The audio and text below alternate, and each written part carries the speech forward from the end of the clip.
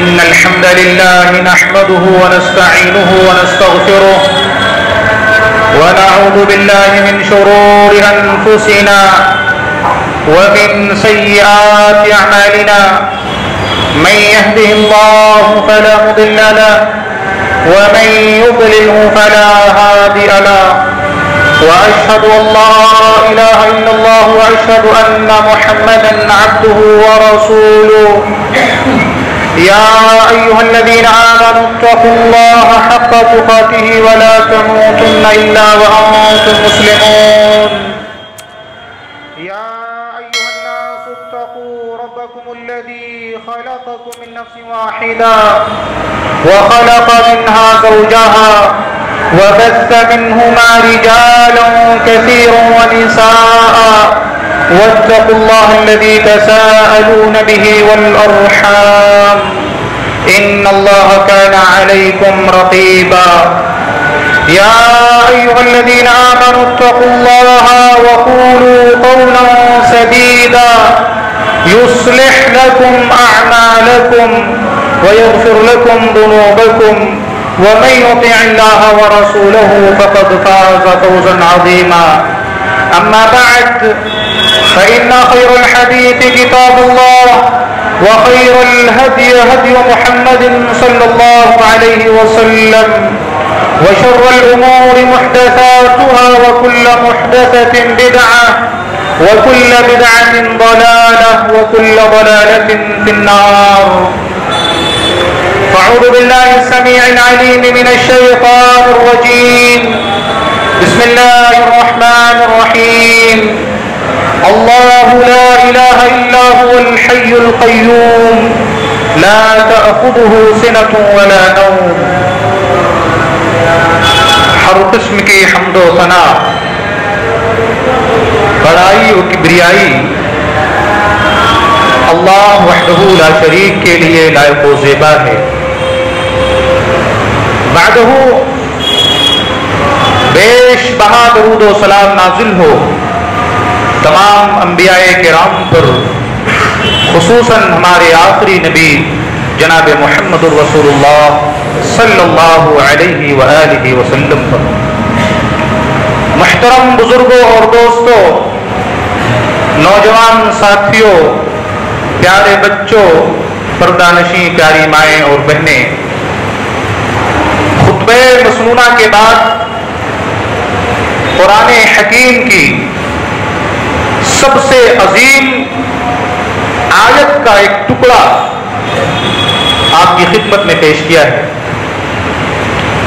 آئیے سب سے پہلے اس آیت کریمہ کی فضیلت کے تعلق سے ایک روایت جسے امام مسلم رحمہ اللہ کتاب و فضائل القرآن کے اندر ذکر کیا ہے۔ حضرت عبی ابن کعب رضی اللہ تعالیٰ فرماتے ہیں کہ رسول اللہ صلی اللہ علیہ وسلم نے ارشاد فرمایا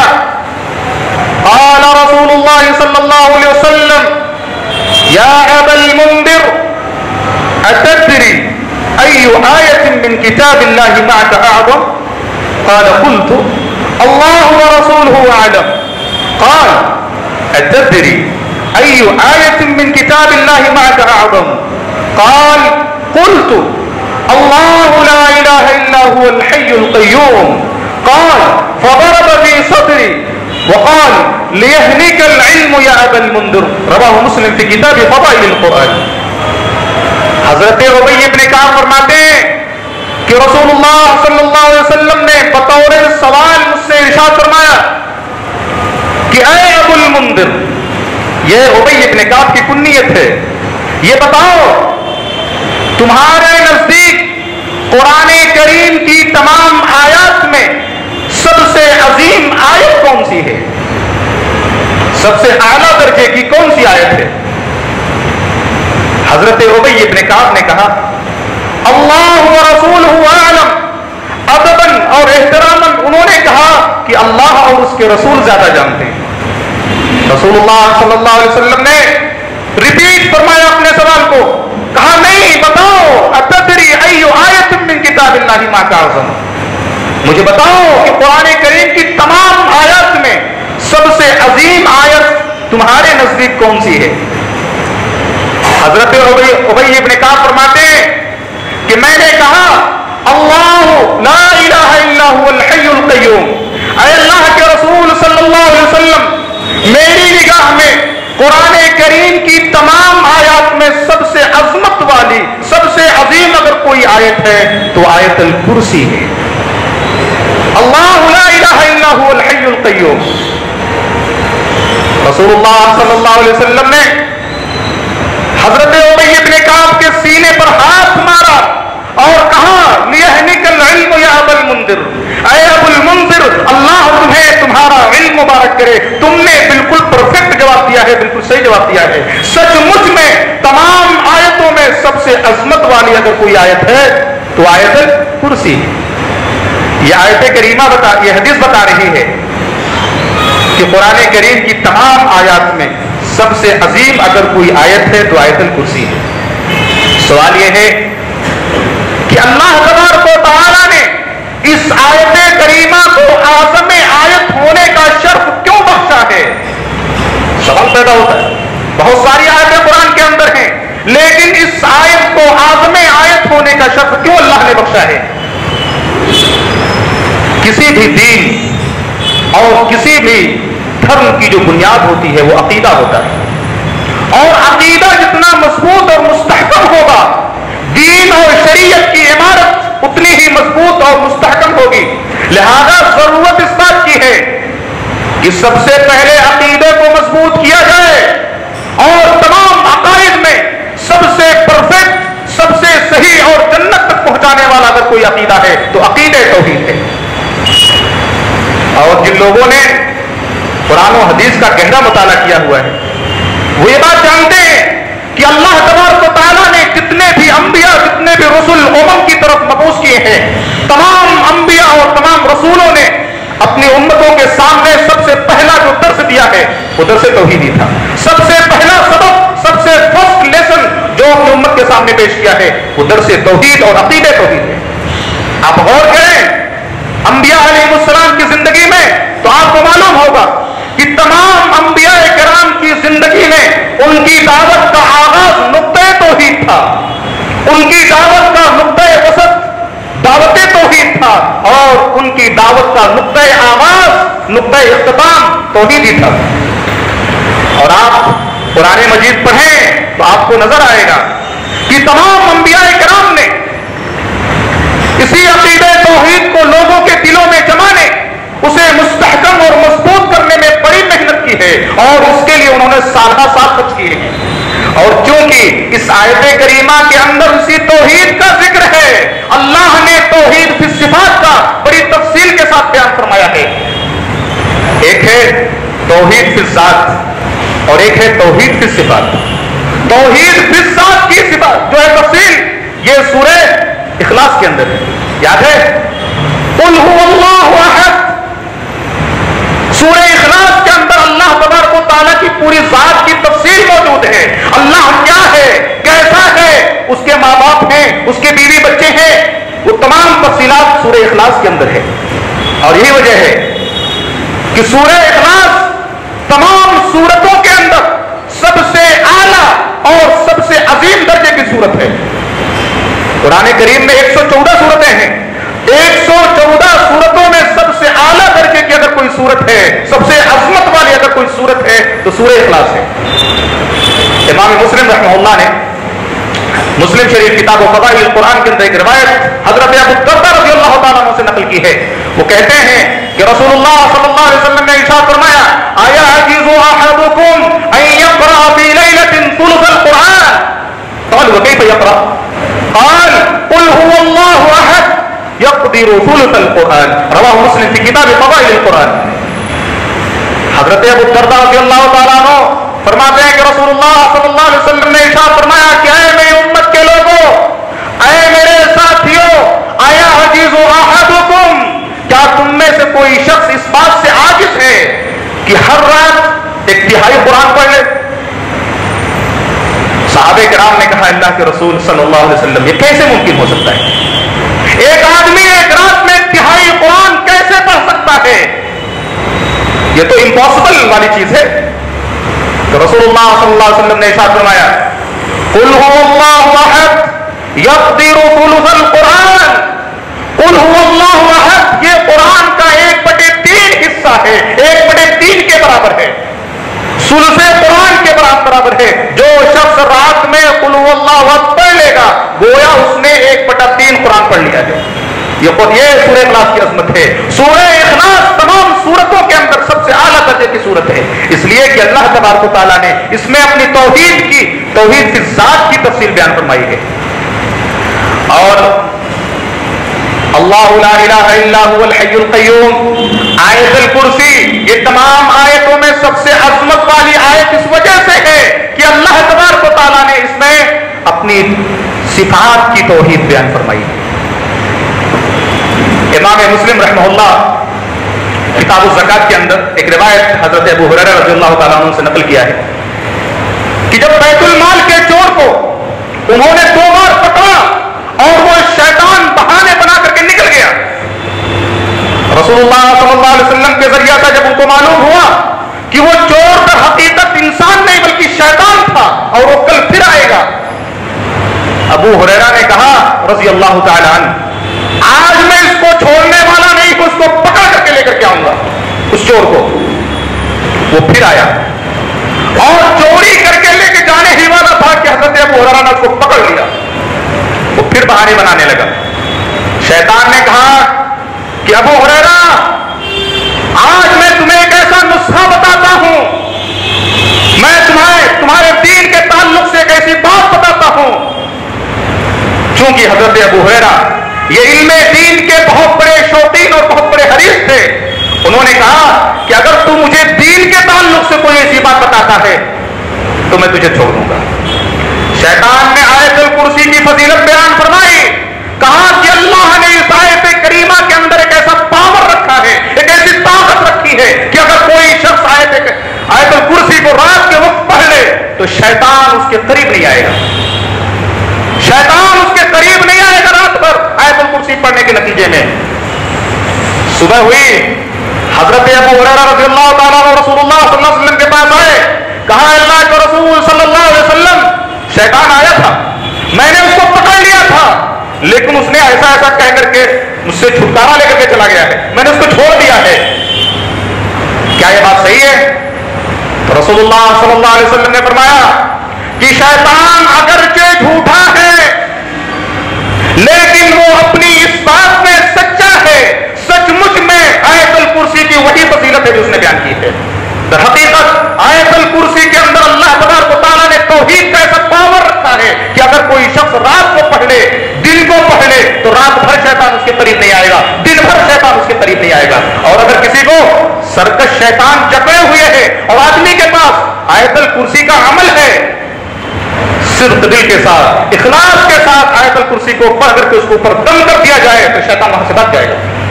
اس کے قریب نہیں آئے گا وہاں ٹک ہی نہیں سکتا ہے شیطان۔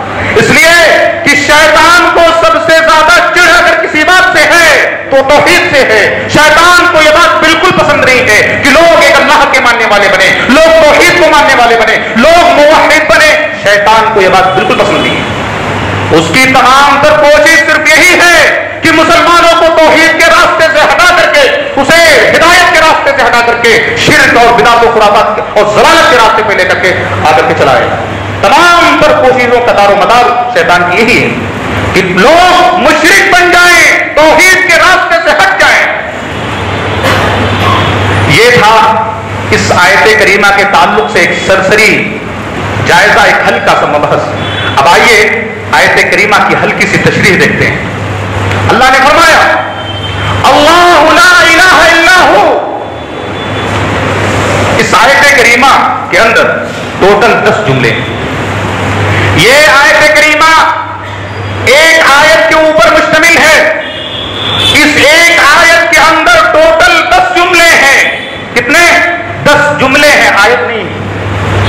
ان دس جملوں میں پہلا جو جو جملہ ہے، اللہ لا الہ الا ہو، یہ پہلا جملہ ہے۔ یہ پہلا جملہ دعویٰ ہے۔ اور بقیہ کے جو نو جملے ہیں، یہ اسی دعوے کی دلیل ہیں۔ پہلا جملہ دعویٰ ہے اور بقیہ کے نو جملے اسی دعوے کی دلیل ہیں۔ دعویٰ نہیں سمجھتے۔ کورٹ کچہری میں جا کر کے لوگ دعویٰ کرتے ہیں، مانہانی کا کیس کرتے ہیں ملاٹ اس نے میری عزت کے ساتھ کھلواڑ کیا۔ دعویٰ کرتے ہیں کہ نہیں؟ اللہ دعویٰ کر رہا ہے اللہ یہ دعویٰ ہے اور اس دعوے میں اللہ دلیل دے رہا ہے۔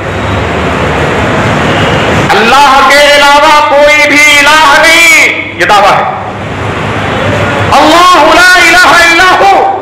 اللہ کے علاوہ کوئی بھی الہ نہیں۔ کتاب التوحید کی ایک شرح لکھی گئی ہے فتح المجید۔ اس کے اندر یہ بتایا گیا ہے کہ الہ یہ معنی میں المالوح کے ہیں اور المالوح کہتے ہیں الذي يستحق العبادہ۔ جو حقیقت میں عبادت کا مستحق اب ترجمہ کیا ہوا؟ اللہ کے علاوہ کوئی بھی عبادت کا مستحق نہیں ہے۔ اللہ ہی حقیقت میں عبادت کا مستحق، اس کے علاوہ کوئی بھی عبادت کا مستحق نہیں ہے۔ عبادتیں کئی قسم کی ہوتی ہیں۔ سجدہ عبادت، لہذا سجدے کا مستحق صرف اللہ کے ساتھ ہے۔ رکو عبادت، لہذا رکو اسی کے لیے ہے اور وہی اس کا مستحق ہے۔ نظر و نیاز عبادت لہذا نظر و نیاز اسی کے لیے ہے، وہ وہی اس کا مستحق ہے۔ تمام کی تمام عبادتوں کا مستحق صرف اور صرف اللہ تبارک و تعالیٰ کی ذات ہے۔ یہ دعویٰ ہے۔ دعویٰ یہ ہے کہ اللہ کے علاوہ کوئی بھی معبود بحق نہیں، کوئی بھی حقیقت میں معبود نہیں، یہ دعویٰ ہے۔ سجدہ اسی کے لیے رکو اسی کے لیے، نظر و نیاز اسی کے لیے، حاجت روائی اسی کے، اسی سے کی جائے، مشکل کشا اسی کو مانا جائے، بیٹا بیٹی اسی سے مانگی جائے، مصیبت میں اسی کو پکارا جائے۔ کیوں؟ سوال یہ ہے کہ اس کے علاوہ دوسرے کو کیوں نہیں پکارا جا سکتا؟ اس کے علاوہ کسی اور کی عبادت کیوں نہیں کی جا سکتی؟ میں نے کہا نا، پہلا جملہ دعویٰ ہے بقیہ کے نو جملے اسی دعوے کی دلیل ہیں۔ اس کا پہلا جواب اللہ زندہ ہے یہ دلیل ہے اللہ زندہ ہے بقیہ جو مر گئے وہ عبادت کے مستحق نہیں ہے وہ سجدے کے مستحق نہیں ہے وہ رکو کے مستحق نہیں ہے وہ تعظیم کے مستحق نہیں ہے وہ بیٹا بیٹی دینے کے مستحق نہیں ہے اللہ الحی ہے زندہ ہے۔ سوال یہ ہے کہ زندہ تو ہم بھی ہیں، تو ہم سے مدد کیوں نہیں مانگی جا سکتی؟ ہم کو پکارا کیوں نہیں جا سکتا ہے؟ اللہ بھی زندہ ہے، ہم بھی زندہ ہیں۔ تو ہم سے مدد کیوں نہیں مانگی جا سکتی ہے؟ جواب دیا گیا، حیون کے معنی زندہ۔ اللہ الحی ہے الاسلام لگا ہوا ہے۔ وہ حقیقی حیات سے متصف ہے۔ ہماری حیات ہماری زندگی عارضی زندگی ہے، اسی کی دی ہوئی زندگی ہے۔ اس حیات کا کیا آج ہے، کل نہیں ہے۔ لیکن اللہ کی زندگی ہمیشہ سے ہے اور ہمیشہ رہے گی۔ اسے کبھی موت نہیں آنے والی ہے۔ اللہ حقیقی حیات سے متصف ہے۔ اس کی حیات کو کبھی دھکا پہنچنے والا نہیں ہے۔ یہ ہے، الحی، اللہ زندہ ہے۔ ٹرین دیکھا ہے؟ ٹرین کے آگے انجن لگا ہوتا ہے۔ میں پوچھوں کہ انجن کی جو حرکت ہے وہ حرکت اصلیہ ہے یا اس کے پیچھے جو ڈبے چلتے ہیں اس کی حرکت حرکت اصلیہ ہے؟ انجن کی حرکت حرکت اصلی ہے اور اس کے پیچھے جو ڈبے چلتے ہیں اس کی حرکت حرکت طبعی ہے تیز سے طبعی یعنی اسی کے تابع ہے۔ انجن رک جائے ڈبے خود بخود رک جائیں گے۔ یہی مثال ہے اللہ کی زندگی کی اور ہماری زندگی کی اللہ مثالوں سے پاک ہے۔ تقریب الفیض کے لیے میں نے مثال دی ہے۔ کہ ہماری زندگی اور اللہ کی زندگی میں زمین اور آسمان کا فرق ہے۔ اللہ حقیقی حیات سے متصف ہے اور ہماری حیات اسی کی دی ہوئی ہے۔ عارضی زندگی ہے، فانی زندگی ہے۔ اس حیات کا کوئی بھروسہ نہیں ہے۔ لہذا اللہ زندہ ہے اور اللہ تبارک و تعالیٰ نے اسی زندگی اور موت کو بنیاد بنا کر کے ایک بڑی پیاری بات فرمائی ہے۔ یا ایھا الناس، انتم الفقراء الی اللہ۔ اے دنیا کے سنسار کے باسیوں سنو اے تمام کے تمام انسانوں تم سنو۔ یا الناس، اس ناس میں انبیاء بھی داخل ہیں، اس ناس میں اولیاء بھی داخل ہیں، اس ناس میں مرشدین بھی داخل ہیں، صالحین بھی داخل ہیں۔ تمام کے تمام لوگ اس ناس اس ناس کے اندر داخل ہیں۔ یا الناس، انتم الفقراء الی اللہ۔ تم سب کے سب محتاج ہو۔ سب کے سب فقیر ہو۔ انبیاء بھی اسی کے محتاج، اولیاء بھی اسی کے محتاج، قطب بھی اسی کے محتاج، ابدال بھی اسی کے محتاج، مرشدین بھی اسی کے محتاج، کائنات کا ذرہ ذرہ اسی کا محتاج ہے۔ اور آگے اللہ ایک بات کہہ رہا ہے۔ اور دیکھو، قرآن کوئی زائد بات نہیں کہتا، اور جب کوئی بات وہ تمہید کے بعد بیان کرتا ہے، تو بات نہایت ہی اہم ہوتی ہے۔ اللہ نے آگے فرمایا، وما يستوي الاعمى والبصير، ولا الظلمات ولا النور، ولا الظل ولا الحرور وما يستوي الاحياء ولا الاموات غور سنو، اللہ کہہ رہا ہے وما يستوي الاعمى والبصير۔ کیا اندھے اور بینا دونوں برابر ہو سکتے؟ جواب نہیں۔ اندھے اور بینا دونوں برابر نہیں ہو سکتے۔ ولا الظلمات ولا النور۔ تاریخی اور روشنی دونوں برابر ہو سکتی۔ جواب نہیں۔ ولا الظل ولا الحرور۔ دھوپ اور چھاؤں دونوں برابر ہو سکتے۔ جواب نہیں۔ جس طرح سے اندھے اور دونوں برابر نہیں ہو سکتے۔ جس طرح سے تاریخی اور روشنی دونوں برابر نہیں ہو سکتے۔ جس طرح سے دھوپ اور چھاؤں، یہ دونوں برابر نہیں ہو سکتے۔ مردے اور زندے برابر کیسے ہو سکتے؟ اللہ کہہ رہا ہے۔ مردے اور زندے برابر کیسے ہو سکتے ہیں؟ اللہ زندہ ہے۔ اور بقیہ جو مر گئے، وہ عبادت کے مستحق نہیں ہے وہ نہ تو وہ رکو کے مستحق ہے نہ سجدے کے مستحق ہے تو اللہ زندہ ہے، اس وجہ سے وہ عبادت کا مستحق ہے۔ سوال یہ ہے کہ ٹھیک ہے، زندہ ہے، کیا کبھی مر جائے گا؟ سوال پیدا ہوتا ہے۔ اس کا جواب دیا گیا ہے، نہیں، وہ القیوم ہے، الحی القیوم۔ وہ کبھی مرنے والا نہیں، وہ ہمیشہ قائم رہنے والا ہے۔ اس کی حیات دائمی ہے، وہ ہمیشہ قائم رہنے والا ہے۔ اور اسی کی ذات پوری کائنات قائم ہے۔ القیوم ہے وہ، اپنی ذات سے قائم ہے۔ ایک اور سوال پیدا ہوتا ہے کہ ٹھیک ہے، زندہ ہے، کبھی مرے گا نہیں۔ اس کی جو یہ زندگی ہے، کیا کچھ کھا کر کے ہے؟ کچھ پی کر کے ہے؟ کچھ کھاتا ہے وہ؟ کچھ پیتا ہے؟ ارے ہندوؤں کے دیوتا تو سوم رس پی کر کے زندہ رہتے ہیں۔ کیا مسلمانوں کا اللہ کچھ کھاتا ہے، کچھ پیتا ہے؟ جواب دیا گیا، القیوم ہے وہ۔ وہ اپنی ذات سے قائم ہے اور اسی کی ذات سے پوری کائنات کی بقا ہے۔ اور جو کھائے، جو پیے وہ عبادت کا مستحق نہیں، وہ کبھی معبود نہیں بن سکتا ہے۔ اللہ تبارک و تعالیٰ نے عیسائیوں کا رد کرتے ہوئے فرمایا، عیسیٰ کو تم اللہ کی بیوی مانتے ہو، مریم کو تم، عیسیٰ کو تم اللہ کا بیٹا مانتے ہو، مریم کو تم اللہ کی بیٹی بیوی مانتے ہو۔ دونوں معبود ہاں معبود۔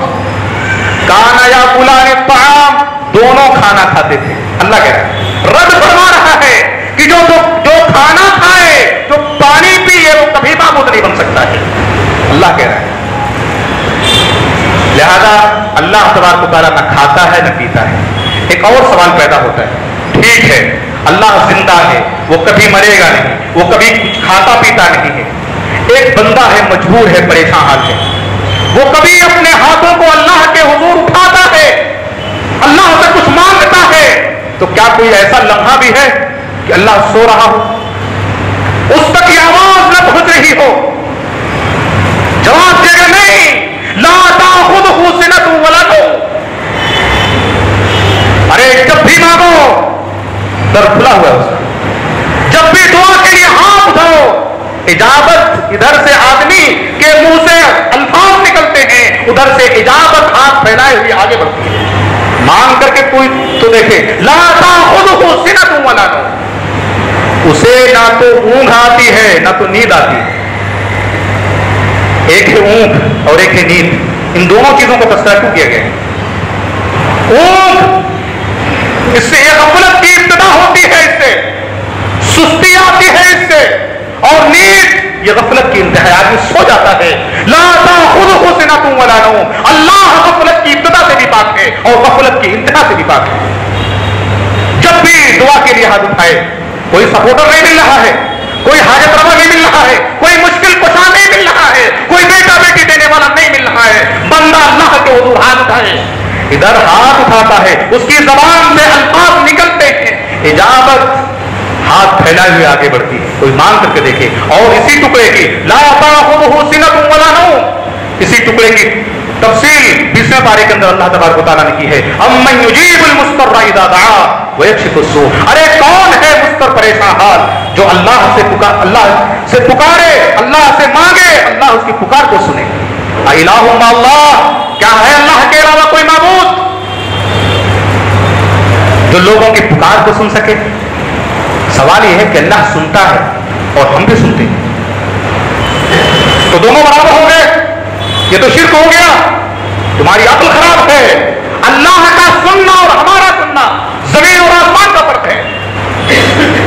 اللہ نے صبح کا جواب قرآن مجید کے اندر دیا ہوا ہے کہ ہاتھ ہے، پیر ہے، آنکھ ہے، دیکھتا ہے وہ، کان ہے، سنتا ہے وہ، زبان ہے بولتا ہے وہ تمام چیزوں کا اس بات کر کے فرمایا نہیں مثل ہی نہیں اس جیسی کوئی چیز نہیں ہے ہاتھ ہے تمہارے ہاتھ کی طرح نہیں آنکھ ہے مگر تمہارے ہاتھ کی طرح نہیں ہے زبان ہے مگر تمہاری زبان کی طرح نہیں ہے کان ہے سنتا ہے وہ مگر تمہارے کان کی طرح نہیں ہے ارے ہمارے کان محتاج ہے کچھ خاص آداب و شرائط کے ہمیں خاص فاصلے سے آواز کو سن سکتے ہیں میں ابھی یہاں سے بول رہا ہوں ابھی بتائیے وجے نگر والے سٹی مارکیٹ والے بابو جی نگر والے میری آواز کو سن رہے ہیں نہیں سن رہے ہیں ہماری آواز، ہماری سماج کو سننے کے لیے کچھ خاص آداب و شرائط ہوتے ہیں، خاص فاصلے سے ہم آواز کو سن سکتے ہیں۔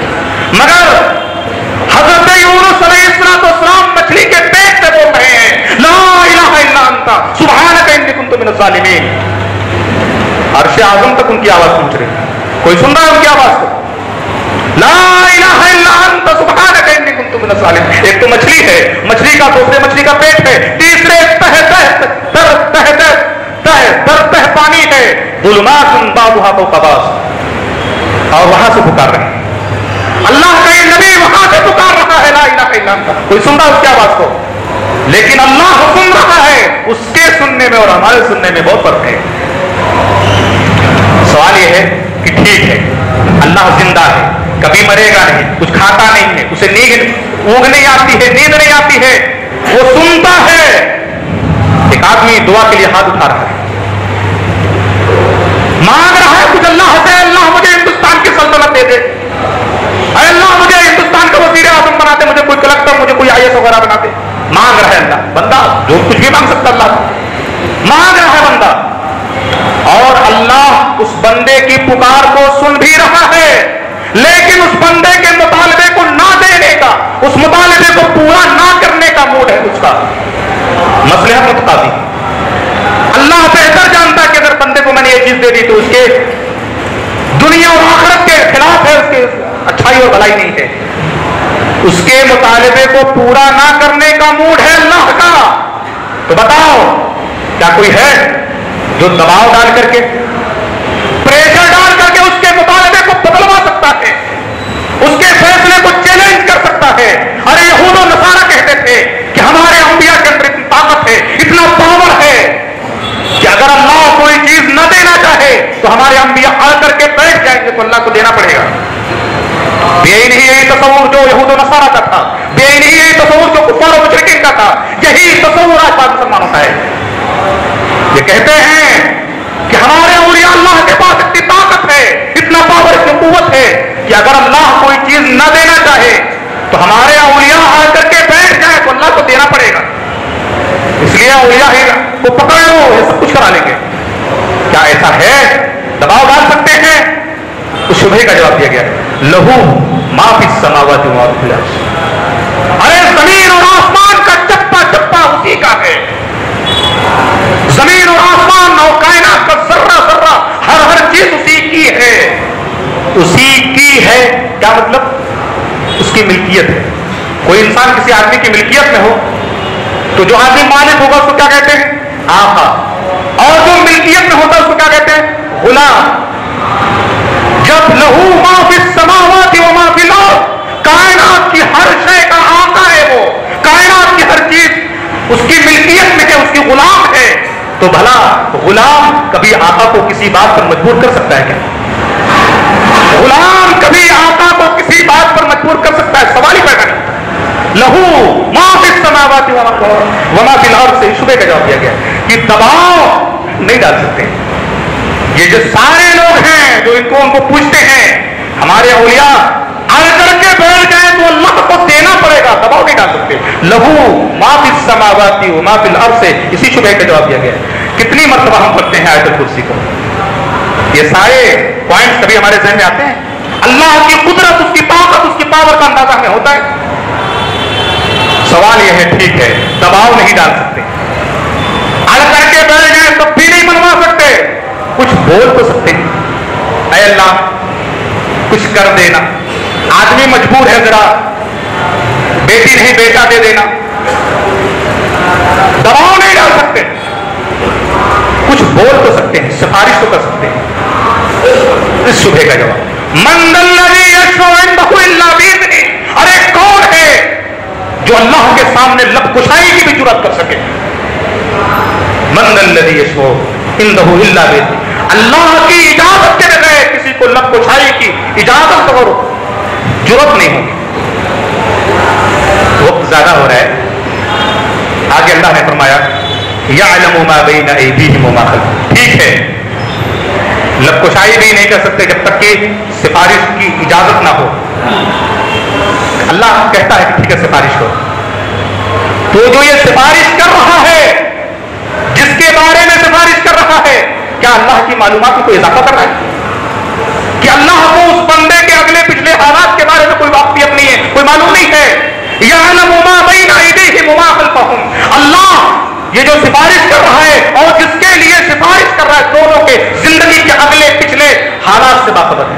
یہ کوئی سفارش کر کے کوئی تیر نہیں مار رہا ہے۔ اللہ تبارک و تعالیٰ دونوں کے اگلے پچھلے تمام زندگی کے حالات سے واقف ہے۔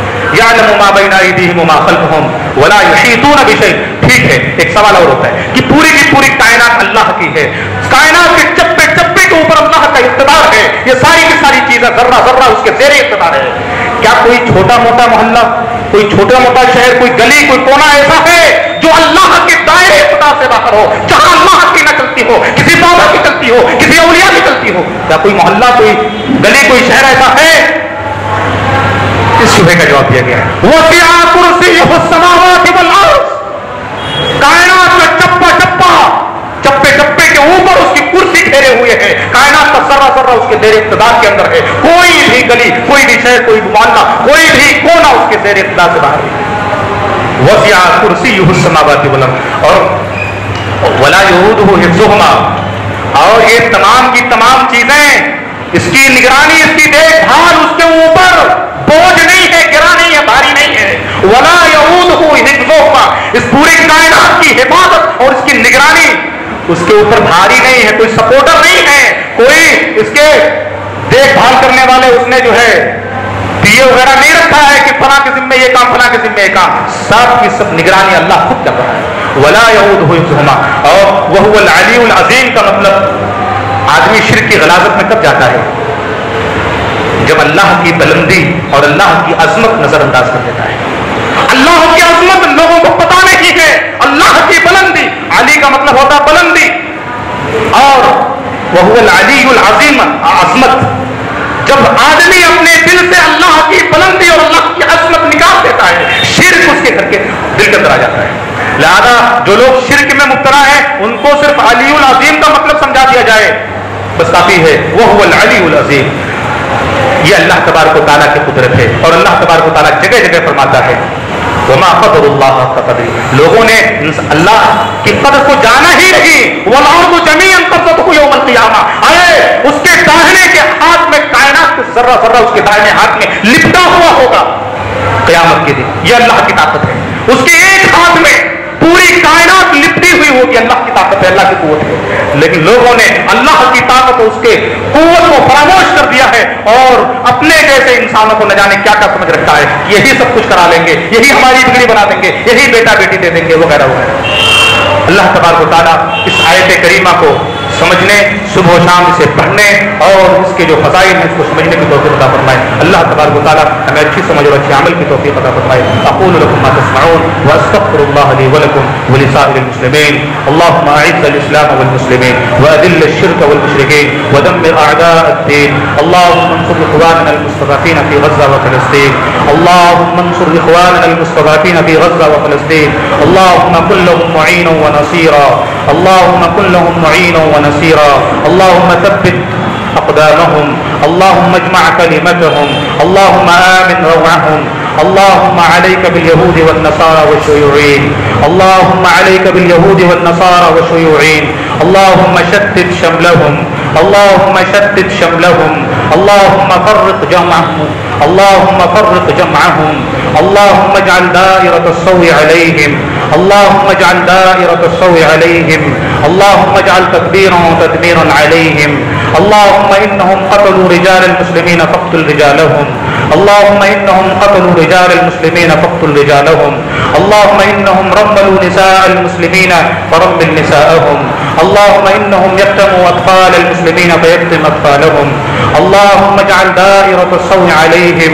يا قوي يا عزيز يا قوي يا عزيز يا رحمن يا رحيم يا ذا الجلال والإكرام يا فعال لما يريد يا من تقول لشيء كن فيكون يا حي يا قيوم يا عزيز يا قوي يا عزيز يا قوي يا رحمن يا رحيم. اللهم عليك باليهود والنصارى اللهم عليك باليهود والنصارى. اللهم إنا نسألك أمنا ليس بعده خوف. اللهم إنا نسألك أمنا ليس بعده خوف. وسعادة ليس بعدها شقاء. اللهم إنا نسألك أمنا ليس بعدها ليس بعده خوف. ربنا ظلمنا أنفسنا وإن لم تغفر لنا ربنا ظلمنا أنفسنا وإن لم تغفر لنا وترحمنا لنكونن من الخاسرين. ربنا تقبل منا إنك أنت السميع العليم وتب علينا إنك أنت التواب الرحيم.